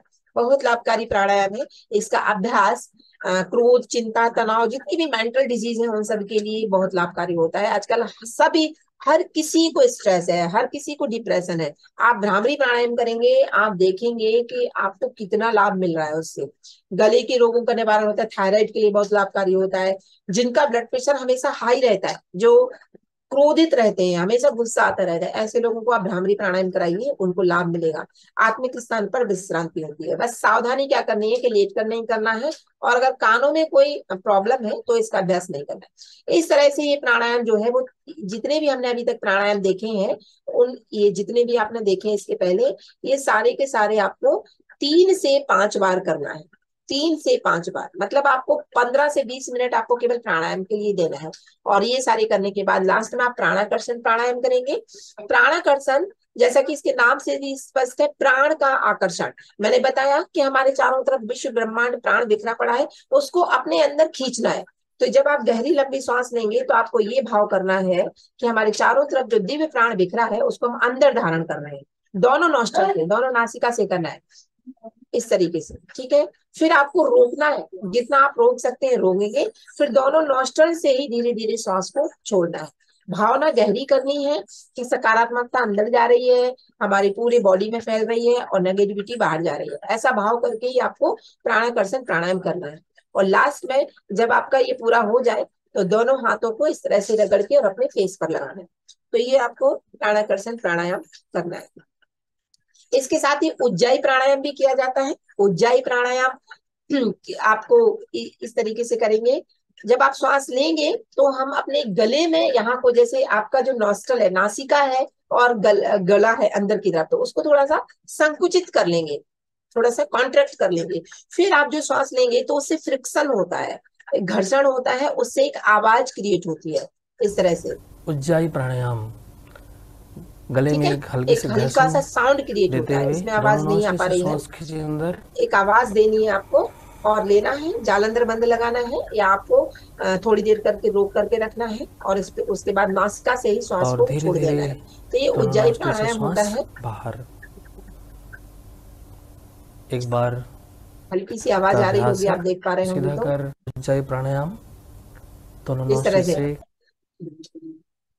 एक हल्के से खर्राटे जैसी आवाज़ इसमें आती है तो ये आपको देखना है। ये हमारे तंत्रिका तंत्र और मन को शांत करता है। जिन लोगों को नींद की परेशानी है, जिनको नींद नहीं आती है, कई लोग हैं जिनको नींद नहीं आती है, उनके लिए बहुत लाभकारी प्राणायाम है ये। बाकी सारी प्राणायाम में कंडीशन बनती है कि आपको बैठ के ही करना है, लेकिन आप सोने से पहले भी उज्जय कर सकते हैं। अपने बिस्तर पर लेटे लेटे भी उज्जय प्राणायाम का अभ्यास कर सकते हैं। तो उज्जय प्राणायाम बहुत लाभकारी होता है, निद्रा के निद्रा के लिए जिनको नींद नहीं आती है, जिनका हाई बीपी है, जिस तरह से ब्राह्मणी प्राणायाम लाभकारी है, उसी तरह से उज्जय लाभकारी है। अब चूँकि हम लोग प्रैक्टिस कर रहे हैं प्री प्लान के लिए तो आपको एक विशेष अभ्यास बताया जा रहा है एनर्जी लॉक थ्री बंस त्रिबंध, तीन विशेष प्रकार के बंध होते हैं, जिसमें हम अपनी ऊर्जा को, अभी क्या है, हम जो भी प्राणायाम कर रहे हैं, जो भी आसन कर रहे हैं, जो भी ऊर्जा हमारे अंदर जा रही है, वो यहाँ जा रही है, उधर जा रही है, इधर बह रही है, अब उस ऊर्जा को हम लॉक करके अपने अंदर रखेंगे, क्योंकि तुम्हें एक विशेष प्रयोजन के लिए इस ऊर्जा को हम धारण कर रहे हैं। तो वो विशेष प्रयोजन क्या है? गर्भ गर्भावस्था। तो गर्भ लाने के लिए हमें क्या करना है कि इस एनर्जी को लॉक करके रखना है। तो ये तीन विशेष प्रकार के बंद बताए गए हैं। जालंधर बंद उद्यान बंद और मूल बंद अब आप देखिए जो मूल बंद होता है तो जैसे आपने अभी आ, जो पेल्विक फ्लोर एक्सरसाइज की तो उसमें इस तरह से आपने सिकोड़ा कॉन्ट्रैक्ट किया और छोड़ा। तो आप जब कॉन्ट्रैक्ट कर रहे हैं तो वो श्वास प्रश्वास के साथ जब आप कॉन्ट्रैक्ट करेंगे तो मूलबंध लगेगा। ठीक है? आप गहरी लंबी श्वास लेंगे और अपने नीचे वाले रीजन को, गुदा क्षेत्र को इस तरह से कॉन्ट्रैक्ट करके रखेंगे और श्वास को रोक करके रखेंगे, जितनी देर तक आप रोक सकते हैं। तो वो आपका मूल बंध का अभ्यास कहलाएगा। गुदा व जनेन्द्रिय के बीच का क्षेत्र को ऊपर की ओर खींच कर रखना मूल बंध कहलाता है कॉन्ट्रैक्ट करना है। ठीक है? तो ये हमारा क्या करता है? प्राण की अधोगति को ऊपर ले जाता है। मतलब जो प्राण तत्व हमारा नीचे की तरफ़ बह रहा है, मैंने बताया ना, आपने भले ही प्राणायाम किया, लेकिन आपने एनर्जी को लॉक नहीं किया तो वो पैरों की तरफ़ जा रहा है, नीचे की तरफ़ जा रहा है तो हमें इस स्थान को लॉक कर देना है, जिससे प्राण नीचे की तरफ़ प्रवाहित नहीं होगा। और इसके संकुचन से प्राण का बिखराव रुक जाता है, और हमारे जो पैल्विक रीजन है, उस पर अच्छा इफ़ेक्ट पड़ता है। उद्यान बंद क्या कहलाता है? अब चूँकि यूट्रस है यूट्रस को हमें बहुत स्ट्रॉन्ग बनाना है और उसमें जितनी भी कमियाँ उन सबको दूर करना है तो उसकी भी एक अच्छी सी मसाज देनी है हमें। तो क्या करना है, आपको पूरी श्वास बाहर निकाल करके और पेट को पूरा अंदर करना है। आप अपने हाथ को अपने पेट पर रख करके देखेंगे और जो हम, आपका जो पेट है वो पूरी तरह से अंदर जाएगा। इतना अंदर जाएगा कि आपका जो डायफ्राम है और आपकी जो रिप्स है जो पसलियाँ हैं वो बाहर की तरफ़ निकल के आ जाएँगी, आपको यहाँ दिखने लगेंगी। जैसा आप चित्र में देख पा रहे हैं कि ये जो लड़की है, इसका पेट को देखिए, आपकी जो डॉट डॉट डॉट दिए गए हैं, वहाँ तक उसका पेट है, लेकिन उसने अंदर की तरफ़ किया है तो कितना सारा वहाँ पर गैप बन गया है। उसी तरह से हमें श्वास को छोड़ करके मूल बंद और उद्यान बंद मूल बंद और जालंधर बंद तो आप श्वास लेकर के करेंगे, लेकिन उद्यान बंद श्वास छोड़ करके करेंगे, ठीक है? तो ये उद्यान बंद कहलाता है।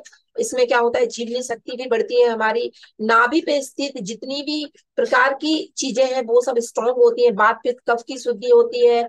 यहाँ पर स्थित जो प्राण है, यहाँ पर स्थित जो चक्र है, वो सब एक्टिव होते हैं और आपके यूट्रस को एक बहुत अच्छा पोषण मिलता है। और भावी आगे आगे आने वाले समय के लिए आप पूरी तरह से तैयार हो पाते हैं बच्चे को कंसीव करने के लिए। ठीक है? इसमें ये है कि गर्भवती महिलाएँ ना करें, इसलिए ये जो बंद बताए जा रहे हैं, वो प्रेगनेंसी में नहीं बताना है। अभी ये जो त्रिबंध आपको इसी वाले उसमें बताए गए हैं। जब आप प्रेग्नेंट होंगे, उस समय ये बंद एकदम बंद कर दी जाएँगे, उस समय आपको नहीं करना है। ठीक है, जालंधर बंद कर सकते हैं। जालंधर बंद भी नहीं करना है, क्योंकि आपको वो तो लगाना नहीं है कुंभक नहीं करना है प्रेगनेंसी में। ये जो प्रैक्टिस है, इसमें कुंभक बताया गया है आपको बट प्रेगनेंसी वाले पैकेज में कुंभक नहीं बताया गया था। ठीक है, उसमें कुंभक नहीं करना था, पर इसमें करना है। इसमें बंद भी आपको एक्स्ट्रा बताए गए हैं, उसमें ये बंद नहीं बताए गए थे। तो जालंधर बंद कैसे करते हैं? आपकी ये जो चिन्ह है, ये जो चुड्डी है, वो यहाँ पर जो कंठकूप है, उसमें इस तरीके से स्थिर कर देना है। तो गहरी लंबी सांस लेनी है और चिन्ह को यहाँ पर ये जो चित्र दिख रहा है, इसमें जालंधर बंद पूरा प्रॉपर नहीं है, क्योंकि उद्यान बंद का चित्र है, लेकिन जालंधर बंद पूरा, जैसे ये जो लड़का है, उसने जो लगा रखा है, चिन्ह को यहाँ पर ऐसे पूरा बंद कर देना है। तो ये आपका जालंधर बंद कहलाएगा। तो तीन बंद बताए हमने तो मूल बंद, उद्यान बंद और जालंधर बंद, ये तीनों प्रकार के बंद जो हैं, बहुत लाभकारी होते हैं। अब आपको थोड़ा सा ध्यान रखना है, जैसे जालंधर बंद की बात है तो जो सर्वाइकल जिनको है, उच्च रक्तचाप है, हार्ट पेशेंट है, उनको नहीं करना है, क्योंकि मैंने जब आपको यौगिक प्रैक्टिस बताई थी, तब भी बताया था कि सर्वाइकल वालों को आगे नहीं झुकना है तो इसलिए आगे नहीं झुकना है, ठीक है?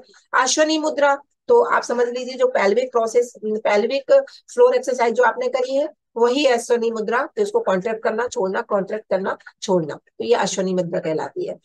रिप्रोडक्टिव ऑर्गन से संबंधित जितनी भी बीमारियाँ चाहे आपको पाइल्स होता है चाहे आपको यूटीआई होता है चाहे आपका भगंदर जो एक रोज रोग होता है वो होता है तो ये सब बीमारियों से निजात पा, पा पाएँगे आप अगर आप अश्वनी मुद्रा मूल बंद और पेल्विक एक्सरसाइज ये सारी चीज़ें करते हैं तो। तो ये अभ्यास आपने देखे मूलबंद के। इसी क्रम में कपाल भाती भी बहुत ही अच्छा अभ्यास है। कपाल भाती भी करना है। कपाल भाती किस तरह से करना है? फोर्सफुली एक्सिल करना है। श्वास को केवल बाहर फेंकना है, ठीक है? इस तरह से आवाज़ के साथ आपको श्वास केवल बाहर फेंकना है। आप चाहें तो अपने हाथ को पेट पर रख करके देखें। जब आप श्वास बाहर छोड़ेंगे तो पेट अंदर जाना चाहिए। ऐसे करेंगे तो पेट आपका अंदर जाना चाहिए। हमारे यूट्रस को, हमारे रिप्रोडक्टिव ऑर्गन को एक अच्छी मसाज मिलती है, जो कपाल भात, जिससे कपाल भाती का जो प्रभाव है, वो बहुत लाभकारी होता है। तो ये आपका कपाल भाती का अभ्यास। आगे ध्यान बताए जाएँगे। ध्यान बहुत महत्वपूर्ण होते हैं।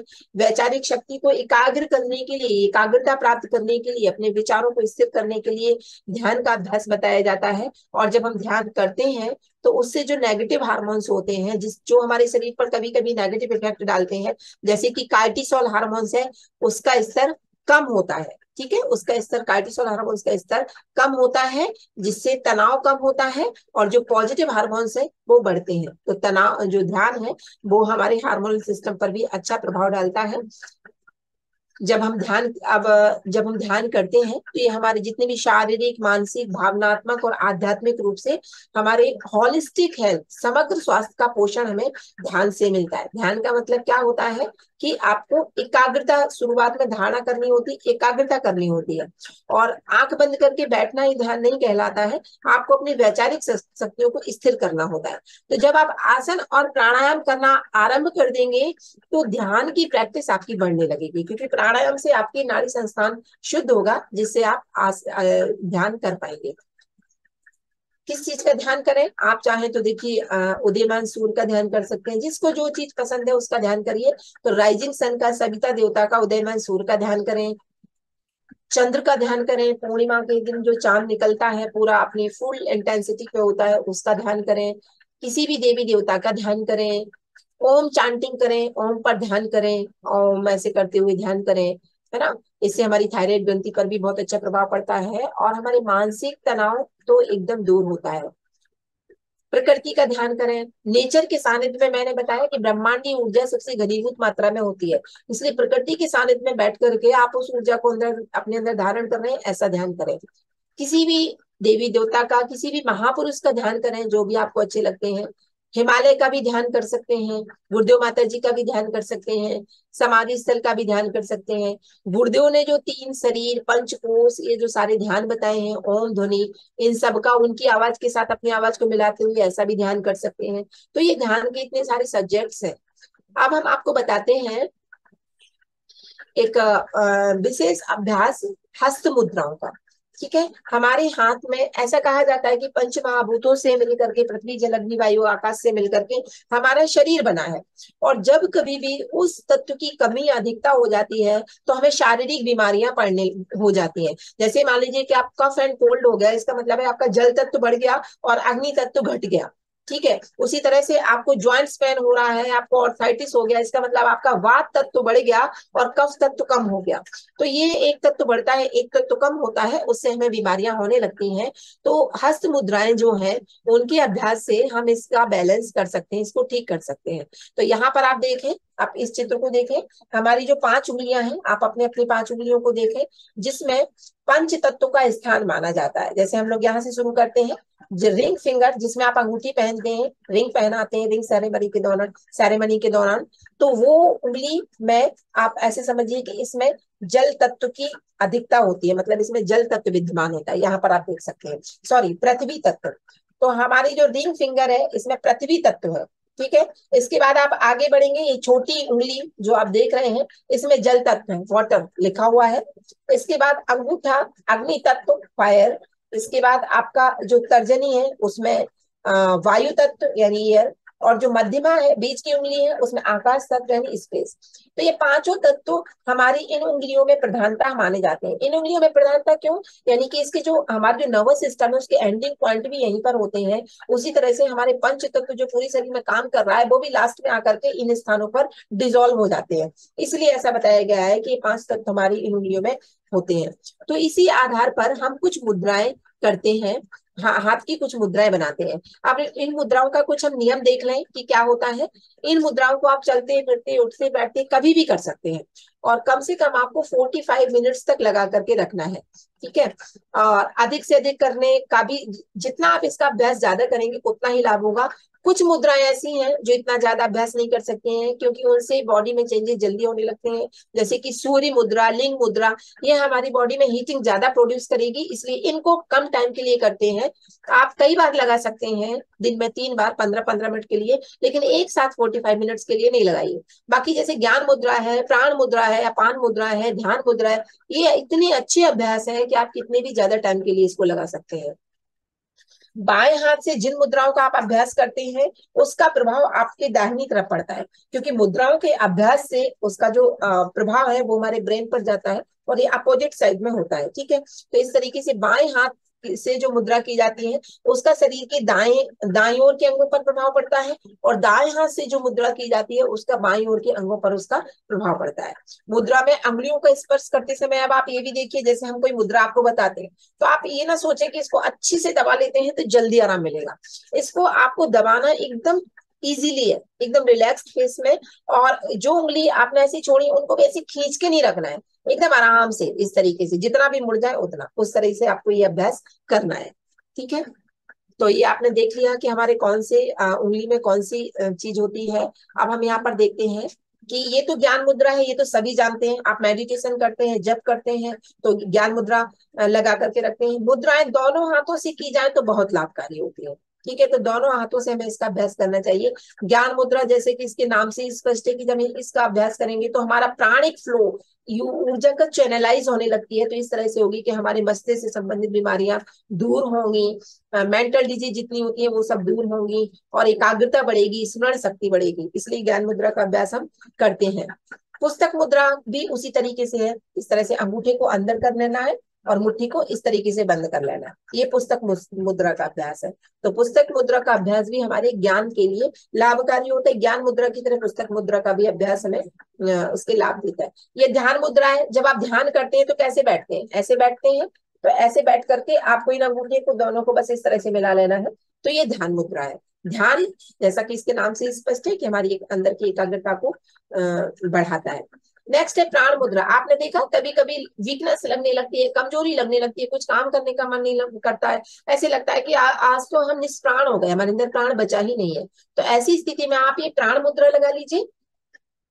ये प्राण मुद्रा। आपको मिडिल फिंगर और आपकी इंडेक्स जो है, उसको फ्री छोड़ देना है। बाकी तीन मुद्राओं को इस तरीके से इन, इनके आगे वाले जो पार्ट है, इनको इस तरीके से जोड़ करके रखना है। ये है आपकी प्राण मुद्रा, जो आपके अंदर के प्राण तत्व को बढ़ाएगी। देखिए, लिखा है, प्राण की शुद्ध शक्तियों का जागरण। हमारी बॉडी में बहुत सारे ऐसे सेंटर है, बहुत सारे ऐसे सेंटर पॉइंट है, केंद्र है, जिसमें प्राण रुका पड़ा है, छिपा पड़ा है। जब आप एक्सरसाइज करते हैं, मुद्राएँ लगाते हैं तो वो प्राण जागृत होने लगता है। तो प्राण की सुप्त शक्ति को प्राण मुद्रा जागृत करती है। जब प्राण जागृत होगा तो शरीर में स्फूर्ति आएगी ऊर्जा आएगी नेत्र ज्योति वर्धक बनेगी इम्यूनिटी आपकी बढ़ेगी विटामिन की कमी भी पूरी हो जाएगी। हालाँकि विटामिन की कमी खान पान से ही पूरी होती है लेकिन कुछ हद तक हमारे अंदर ये सब चीज़ें प्राण बढ़ने लगता है तो ऐसा लगने लगता है। आ, फास्टिंग के दौरान कमज़ोरी लगने लगती है तो फास्टिंग के दौरान भी आप प्राण मुद्रा लगा करके रखें तो आपके अंदर ऊर्जा आएगी। भूख प्यास की कमी दूर होती है। नेक्स्ट है सूर्य मुद्रा आपको कभी लगता है कि आपका कफ बढ़ रहा है, कोल्ड बढ़ रहा है तो खासतौर से सर्दियों में तो उस दौरान आप सूर्य मुद्रा भी लगा सकते हैं। आपकी जो रिंग फिंगर है, इसको ऐसे मोड़ लेना है, रिंग फिंगर को ऐसे मोड़ लेना है और अंगूठे से इसको हल्का सा प्रेस करके रखना है। तो ये आपकी, क्या कहलाएगी? सूर्य मुद्रा इस तरह से। तो सूर्य मुद्रा लगाएँगे, जैसा कि इसके नाम से स्पष्ट है कि सूर्य तत्व बढ़ेगा, अग्नि तत्व बढ़ेगा। और ये जब अग्नि तत्व बढ़ता है तो हमारे पाचन क्रिया को भी बढ़ा देता है। मोटापा कम करने में भी इससे मदद मिलती है। जो लोग मोटे हैं, उनको सूर्य मुद्रा लगा करके रखनी चाहिए। उनको आलस्य भी नहीं आएगा, क्योंकि अग्नि बढ़ेगी तो क्रियाशीलता बढ़ेगी, शक्ति का विकास होगा, कोलेस्ट्रॉल घटेगा तनाव में कमी आएगी, आपको जो डायबिटीज़ है, जो लीवर प्रॉब्लम है, वो सब भी दूर होंगी। तो इस तरीके से सूर्य मुद्रा लाभकारी है। इसी तरह से सूर्य मुद्रा की तरह ही लिंग मुद्रा का भी अभ्यास लाभकारी होता है। दोनों दोनों हाथों की अंगुलियों को आपस में फंसाकर बाएँ हाथ के अंगूठे को ऐसे निकाल लें। पहले आप ऐसे बाएँ हाथ के अंगूठे को ऊपर कर ले और उंगलियों को ऐसे फंसा ले। ठीक है? और अंगूठा आपका ऊपर है और ये जो दाहिना अंगूठा है, इसको ऐसे, इसको लपेट दे इस पर। ये वाला अंगूठा आपका बाहर की तरफ़ रहेगा, ये इस पे इस तरह से लटका रहेगा। तो ये लिंग मुद्रा है। इसके लाभ भी आपको अपने बॉडी में के अंदर अग्नि तत्व अगर बढ़ाना है तो लिंग मुद्रा और सूर्य मुद्रा लगाएँगे। आपको सर्दी हो रही है, कफ कोल्ड हो रहा है तो ये दो मुद्राएँ लगाएँगे तो आपको काफ़ी हद तक आराम मिलेगा। अगर किसी का लो ब्लड प्रेशर है, अगर किसी को कमज़ोरी लग रही है तो भी आप इसको लगा सकते हैं। ये है अपान मुद्रा। आजकल आपने देखा गैस्ट्रिक प्रॉब्लम बहुत होती है। सभी को गैस बनती रहती है और इवन गैस्ट्रिक प्रॉब्लम तो इतनी ज़्यादा बढ़ जाती है कि कई बार उससे कई कॉम्प्लिकेशन भी होने लगते हैं। तो ये अपान मुद्रा, इसमें तीन मुद्राएँ होती है। अपान मुद्रा, वायु मुद्रा और अपान वायु मुद्रा।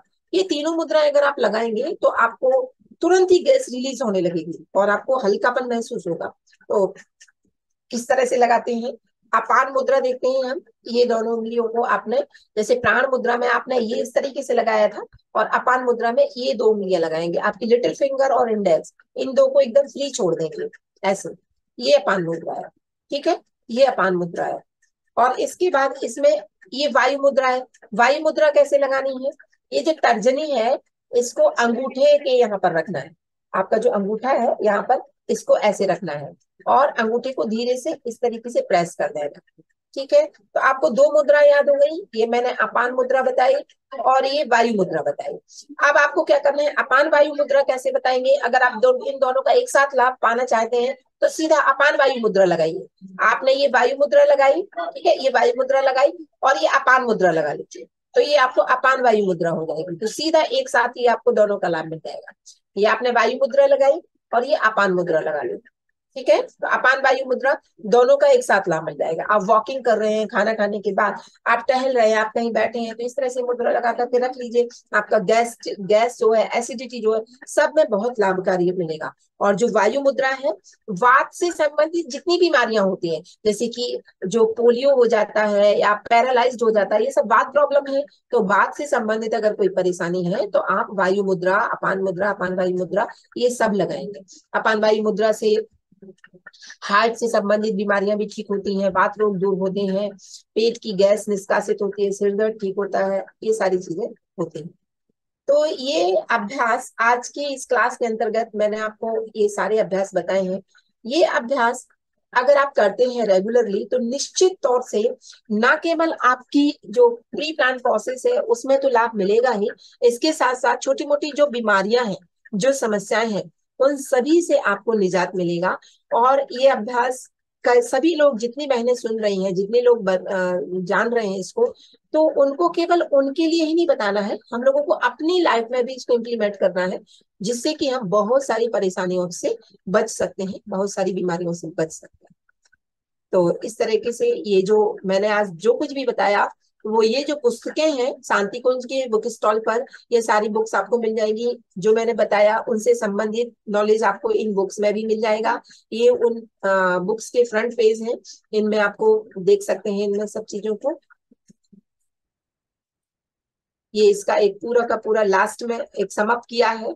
आसनों को बता करके किस तरीके से ये आसन आपको बताने हैं। तो मैं इसी के साथ अपनी बात को समाप्त करती हूँ। आशा है आप लोगों को कुछ हद तक समझ में आया होगा। धन्यवाद।